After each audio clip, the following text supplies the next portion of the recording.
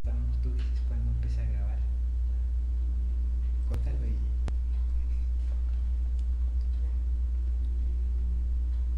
Cuali tonali, cuali yewali, cuali ni canash. Buen día, buena noche, buena aquí y ahora.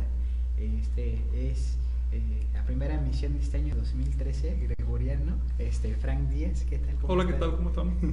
y estamos aquí con mucho gusto de saludarles, retomando de nuevo el camino.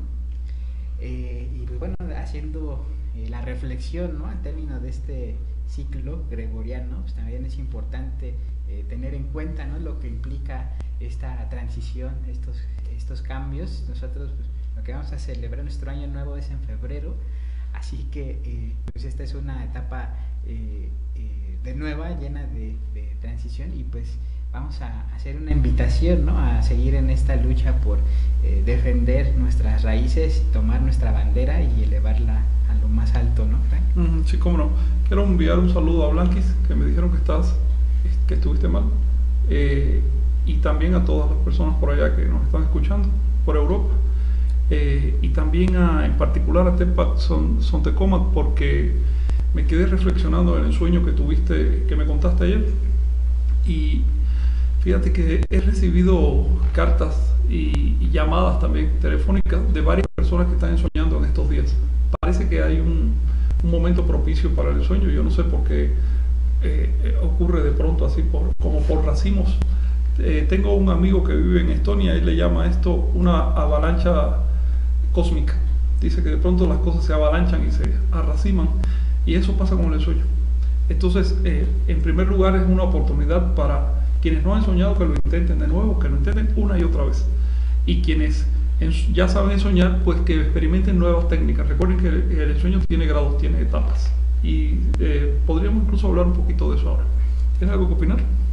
Sí, también para aprovechar, mandamos saludos también hasta el Cairo, que allá también nos están siguiendo.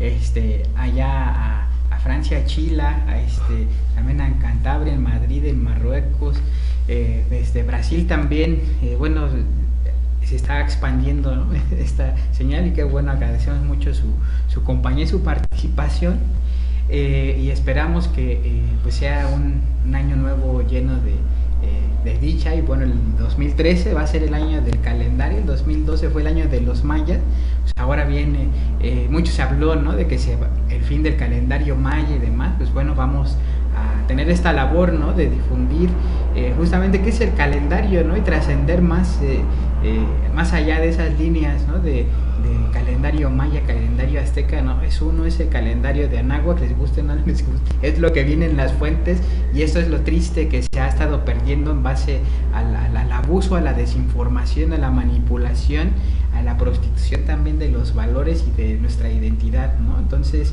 eh, es importante dignificarlo, es una labor que haremos de forma conjunta. ¿Cómo lo vamos a hacer? Bueno, acercando los materiales, ¿no? Para que los puedan conocer, eh, para que los puedan tener accesibles este, y también reflexionar, comentar sobre ellos, ¿no? Ya que eh, estamos envueltos en una avalancha de información eh, eh, donde pues bueno, tristemente lo que se busca nada más es el aspecto mercadológico, el vender más, el posicionar más los egos eh, y no se preserva, no se cuida nuestro verdadero patrimonio que es tesoro y es nuestra herencia, ¿no? Eso también va a ser, va a ser importante. Este año pues vamos a, a, iniciar por este ajuste con algunos cambios en las transmisiones a través del canal Toltecayo, pues bueno, eh, eh, mantendremos en medida de lo posible hasta mediados del mes de febrero estas transmisiones de Nikanash para dar pie a la nueva etapa ¿no? que va a corresponder a eh, el nuevo curso que va a abrirse en la Universidad Obrera de México eh, va a haber Kinam con Julio Diana da Silva, va a haber también este curso de Náhuatl con Frank Díaz y bueno, otras actividades. También estamos eh, planificando, definiendo la creación de un nuevo eh, programa relativo a la calendárica, que sería los miércoles, pero los definiremos en días siguientes.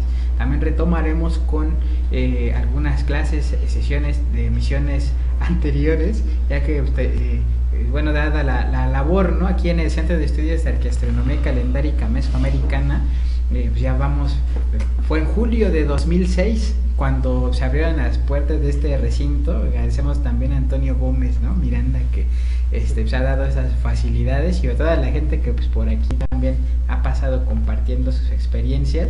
Eh, y bueno, esas son de las eh, buenas nuevas, ¿no? Les vamos a compartir este, de esas clases este, con temas que están muy interesantes también. Sí, según entiendo los temas de hoy, uh, los principales son, bueno, recapitular un poco todos estos eventos de fin de año con respecto a, al cierre del ciclo maya, eh, también eh, algo con respecto al nahualismo, que es un tema básico siempre, y eh, planes de estudio y de actividades para el 2013, que como tú dices, bueno, por esta por la coyuntura de que es el año siguiente a todo el boom maya y todo ese rollo que se ha armado, y también por el hecho de que tiene un 20 y un 13, que son números tan calendáricos, eh, por acá nos ha parecido bien declararlo año de calendario de Anáhuac para fomentar sus investigaciones y demás. Eh, me gustaría comenzar con una reflexión, Vicente, y es lo siguiente.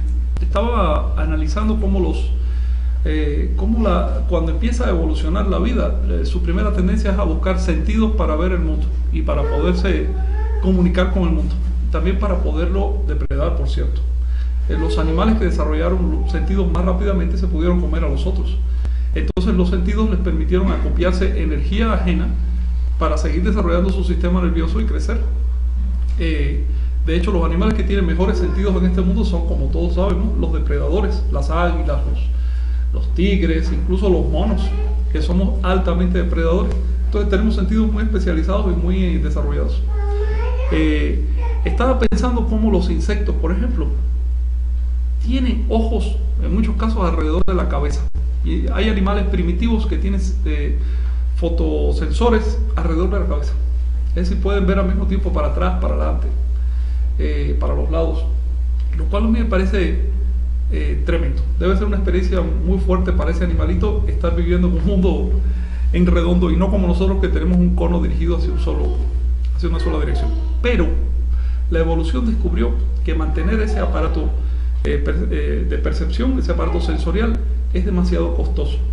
Que es mucho más fácil dotar al animal de una bisagra en el cuello para que pueda volver la cabeza y mirar hacia atrás. Eso es muchísimo más económico en términos energéticos que mantener todo un aparato ocular de la parte de atrás del cuerpo. ¿A dónde nos lleva esta reflexión?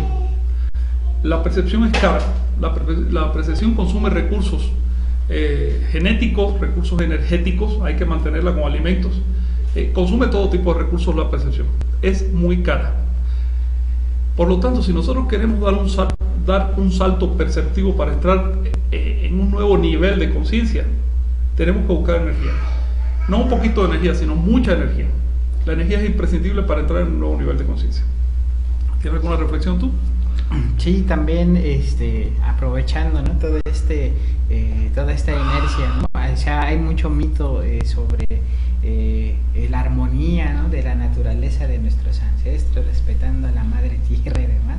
Y pues vemos que el impacto que, que hicieron sobre la naturaleza, pues por eh, circunstancia, ¿no? Como en el simple caso del, eh, del estuco, pues implicó una depredación enorme, ¿no? Eh, entonces, eh, es también importante, ¿no? Que no idealicemos este, a nuestras culturas, ¿no? Hay que procurar la este, objetividad, como en el mismo caso, ¿no? De los sacrificios humanos, que no hay que irnos con esa, con esa línea, ¿no? Eso implica que nosotros tengamos la capacidad de, de reflexionar en base a, las evidencias y también aplicar sentido común, ¿no? implicar esta, eh, este ejercicio de ¿no? de experiencia propia, de identificar las formas eh, y, trascender, ¿no? ¿no? irnos con la primera este, imagen ¿no? que se nos venga o lo, que, por lo que diga un texto y lo demás. Todo hay que tener eh, esa capacidad, ¿no? como de, de, de depredarlo, ¿no? de analizar, de ver cuáles son sus puntos fuertes, los débiles y pues, tomar lo,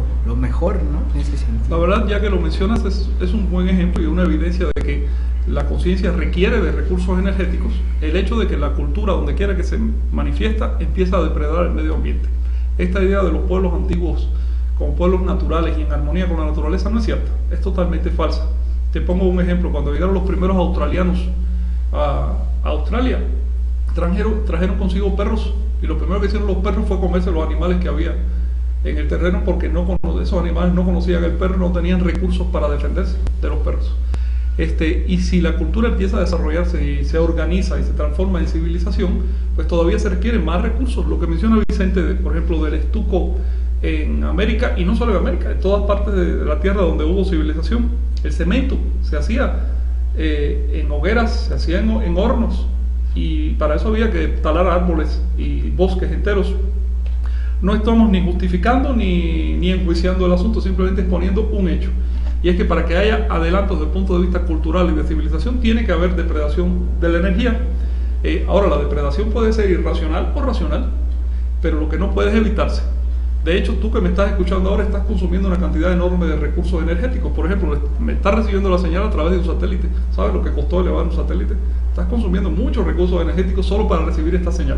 Solo el hecho de que hablemos en una lengua que ambos entendemos significa que estás consumiendo recursos energéticos porque esa lengua hubo que enseñártela. Tú tuviste además que ir a la escuela y aprender ya eh, palabras más refinadas que, que, recibiste en la casa. En fin, eh, eh, tú eres el resultado de un gran esfuerzo cultural y es necesario reconocer primero dónde estamos, en qué situación energética estamos para poder dar el salto al acrecentamiento de la conciencia, que es el acrecentamiento del reciclaje de la energía.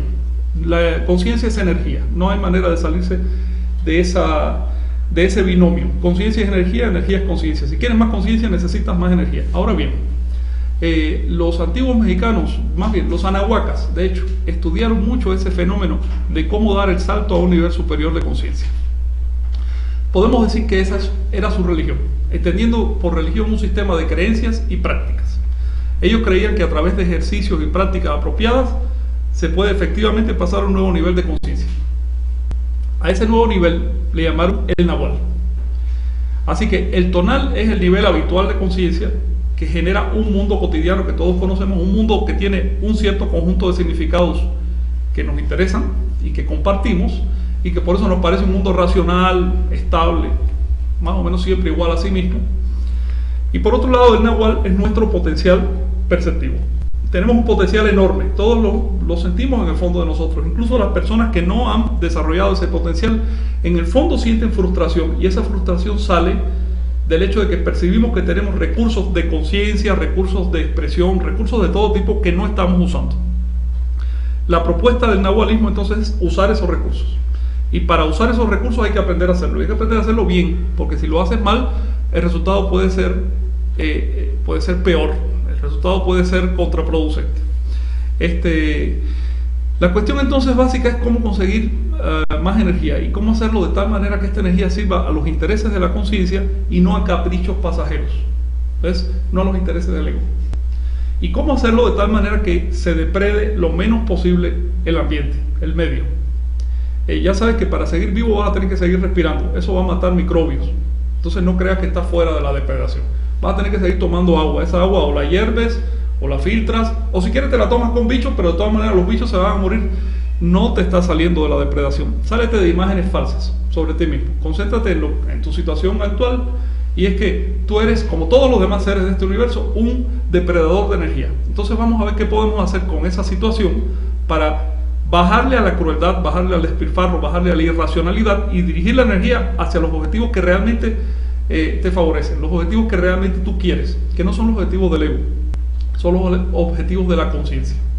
Sí, también es, es, importante en este, eh, en este hecho, ¿no? El, la conducta depredadora, salvaje, o sea, comerse el mundo, este, pues es una situación también este, extrema. ¿no? Por otro lado está el ego, en, el, donde viene el apapacho, la autocomplacencia, todo este eh, esta creación, ¿no? Así como mágica de lo que es y mi mundo es perfecto y demás.